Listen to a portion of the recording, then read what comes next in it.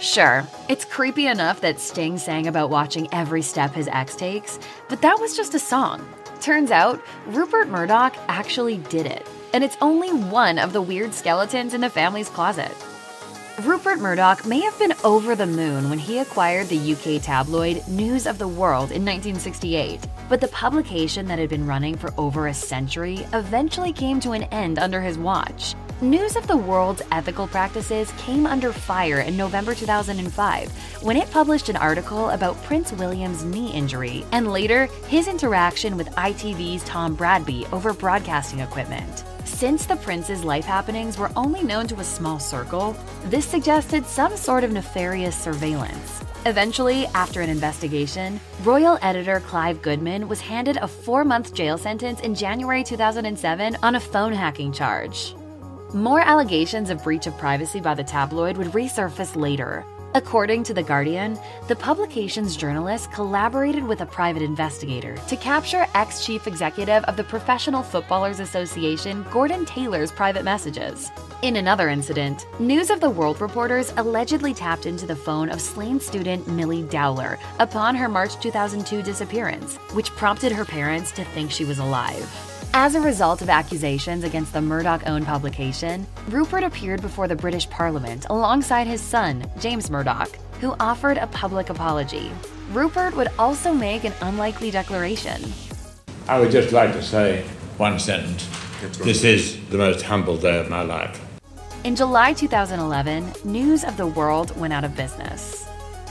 Although the Murdoch family shows up for each other, as James Murdoch did when his father was facing problems with News of the World, they don't always see eye to eye. In 2005, Rupert Murdoch was said to have been alienated and isolated from his older kids amidst a fight over the family trust, per the Wall Street Journal. Speaking in an interview with The New Yorker years later, James shared that he and his father weren't entirely on talking terms all the time.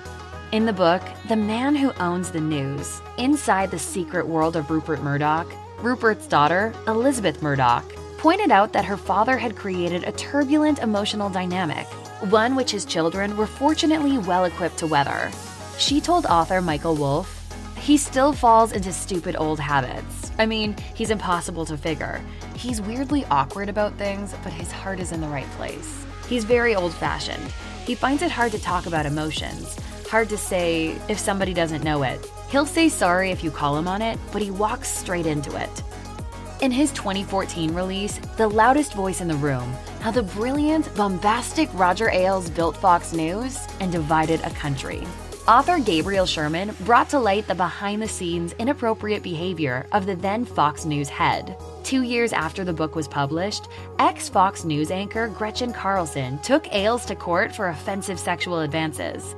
Her boldness prompted other women, including journalist Megyn Kelly, to come out publicly with similar accusations against Ailes. The infamous scandal inspired the 2019 flick Bombshell. It's like we're telling women go on, speak up for yourself, just know the entire network is with Roger. Ailes eventually exited his role. So did commentator Bill O'Reilly under similar circumstances in April 2017. After numerous reported settlements, Murdoch appeared to dismiss impropriety in his company in a conversation with Sky News. He claimed, It's all nonsense. There was a problem with our chief executive, sort of, over the years, but isolated incidents. As soon as we investigated it, he was out of the place in hours. Well, three or four days. And there's been nothing else since then. Reactions from Fox News women via HuffPost claimed he was negligent of his female employees' well being. However, Murdoch's representative told the publication his words had been misconstrued. He said he responded negatively to the suggestion that sexual harassment issues were an obstacle to the company's bid for the rest of Sky. The love story between Rupert Murdoch and Scottish writer Anna Maria Torv began in a setting both were familiar with. She was a journalist, and he was on the interviewee's seat. Three children later, the house that the couple had built for a little over three decades crumbled when someone else caught Murdoch's eye his would be third wife, Wendi Deng.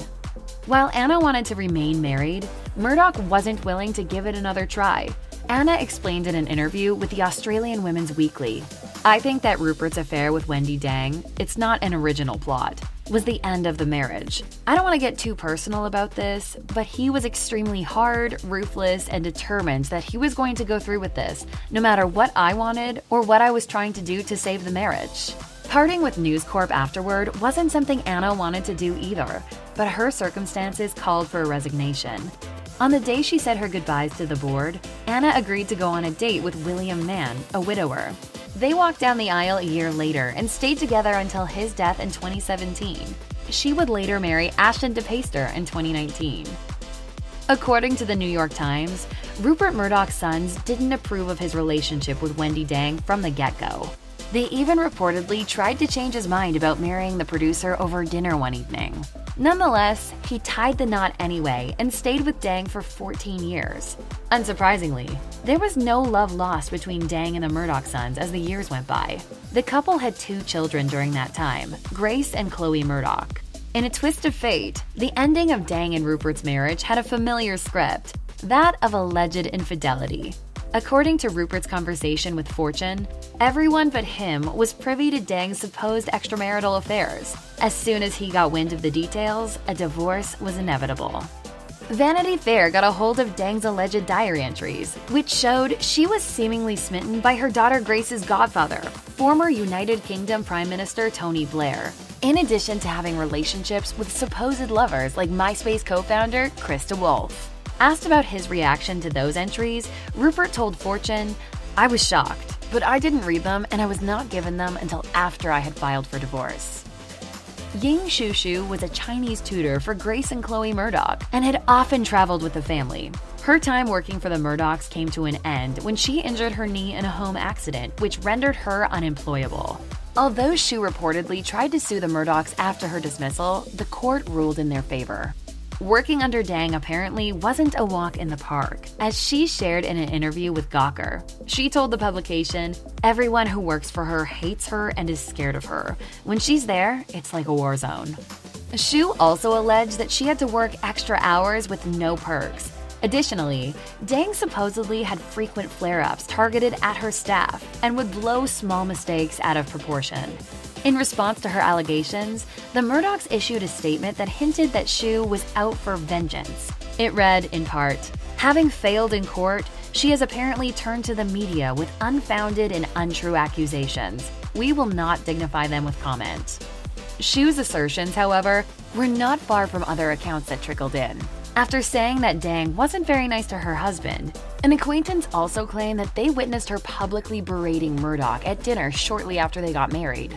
Long before the couple divorced, they allegedly led independent lives. According to the New York Times, not only were James and Lachlan Murdoch butting heads over who would take control of Rupert Murdoch's businesses, but also their childhood home. The 8,651 square foot Beverly Hills mansion where they grew up had been purchased by Rupert Murdoch back in the 80s. Rupert reportedly acquired the former Stein home for $7 million in September 1986, a little over two years after the death of Doris Stein, Music Corporation of America co founder Dr. Jules Stein's wife. In a note to its designer Wallace Neff's son at the time, Rupert unveiled his and his wife's intention to revamp the property. According to the Los Angeles Times, he wrote, My wife and I are extremely excited about it, and we plan to make it even more as your late father intended. He eventually listed the house for sale years later, a move that his sons frowned upon, as the New York Times observed. Although Rupert apparently found a potential buyer in actor Leonardo DiCaprio, the mogul's son, James, bought it for a reported $30 million in 2015. God damn it! In April 2000, Rupert Murdoch got an unfortunate prostate cancer prognosis. Murdoch's representative released a statement which read, his doctors have told Mr. Murdoch the prognosis is very good and that it is an extremely low grade form of cancer. He has no intention of changing his work schedule. It was further revealed that Murdoch would be receiving weeks long radiotherapy care in order to help with restoration of his health. By August of the same year, Murdoch was clear of any potentially cancerous cells. According to The Independent, he jokingly said of the treatment process, It convinced me of my own immortality. He went on to add that his heading of News Corp at the time wasn't shaken at all. In his chat with Fortune 14 years later, Murdoch affirmed that he had received a clean bill of health from his physicians. He also let the publication know how long he thought he was going to be alive. He remarked, Well, my mother just died at 103, so that's a start. You should live 20 years longer than your parents. In March 2016, Rupert Murdoch and Jerry Hall said I do in an intimate London wedding. An excited Murdoch took to X, formerly known as Twitter, to express his joy. He wrote, No more tweets for 10 days or ever. Feel like the luckiest and happiest man in the world. In August 2022, Murdoch and Hall reportedly went their separate ways. Just like his detachment from Wendi Deng, the ending of his fourth marriage to Hall was sudden. Hall was apparently expecting a meeting with Murdoch at their home in England when she reportedly received the unfortunate news through an email. According to a screenshot shared with Vanity Fair, it read in part Jerry, sadly, I've decided to call an end to our marriage. We have certainly had some good times, but I have much to do. My New York lawyer will be contacting yours immediately. Besides conflicting opinions on abortion, as well as COVID era masks and tests, Hall and Murdoch were said to have had no marriage ending arguments. Nonetheless, it seems Murdoch had a change of heart in more ways than one. The abrupt nature of Murdoch's decision wasn't the only confounding thing about the split. Not long after Hall settled into the England home she received as part of the divorce settlement, she discovered that her movements were allegedly being monitored. It apparently took the efforts of Hall's famous ex, Mick Jagger, along with his security guy, to disengage surveillance cameras, according to Vanity Fair. Barely a year after Murdoch and Hall had finalized their divorce, he gave Cupid yet another try. He'd fallen head over heels in love with Ann Lesley Smith, an ex dental practitioner turned on air personality. Murdoch and Smith were set to tie the knot in the summer of 2023 in what would have been his fifth marriage. He proposed on St. Patrick's Day in March 2023, in line with his part Irish background. The media mogul told the New York Post, I was very nervous. I dreaded falling in love, but I knew this would be my last. It better be. I'm happy. Of course, his ring of choice didn't come cheap. According to the Daily Mail, the value of the 11 carat rock Smith was spotted with at LAX stood at $2.5 million. An expert said, it's the largest size diamond that you could wear every day. However, a month hadn't gone by before it was reported that Rupert and Smith weren't headed for the altar after all. The pair had allegedly called off their nuptials due to differences in religious opinions, per a source cited by Vanity Fair. Ain't love grand? If you or anyone you know has been a victim of sexual assault, help is available. Visit the Rape, Abuse, and Incest National Network website or contact RAINN's National Helpline at 1 800 656 HOPE 4673.